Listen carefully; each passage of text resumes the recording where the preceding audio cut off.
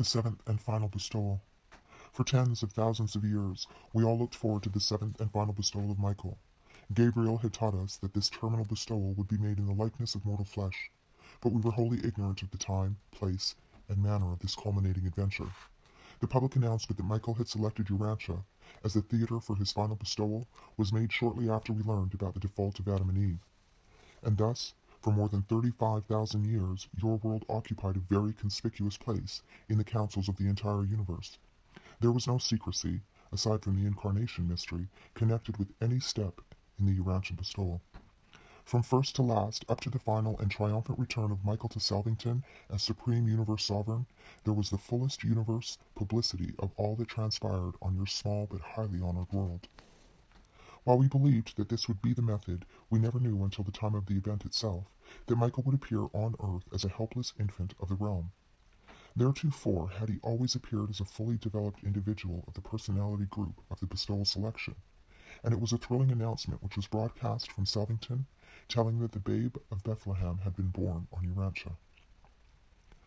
We then not only realized that our creator and friend was taking the most precarious step in all his career, apparently risking his position and authority on this bestowal as a helpless infant, but we also understood that his experience in this final and mortal bestowal would eternally enthrone him as the undisputed and supreme sovereign of the universe of Nebadon.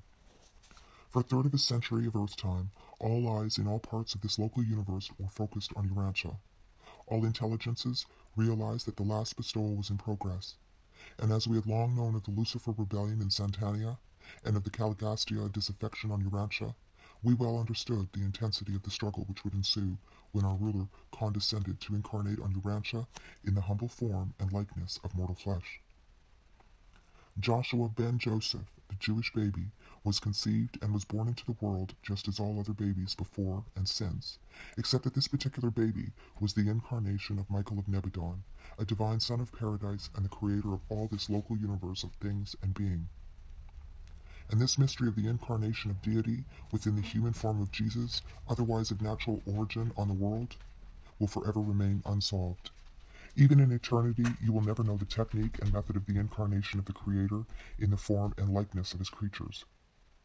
That is the secret of Sonarington, and such mysteries are the exclusive possession of those divine sons who have passed through the bestowal experience. Certain wise men of earth knew of Michael's impending arrival. Through the contacts of one world with another, these wise men of spiritual insight learned of the forthcoming bestowal of Michael on Urantia, and the seraphim did, through the midway creatures, make announcement to a group of Chaldean priests, whose leader was Ardnon. These men of God visited the newborn child in the manger. The only supernatural event associated with the birth of Jesus was this announcement to Ardnon and his associates by the seraphim of former attachment to Adam and Eve in the first garden. Jesus' human parents were average people of their day and generation, and this incarnated Son of God was thus born of woman and was reared in the ordinary manner of the children of that race and age.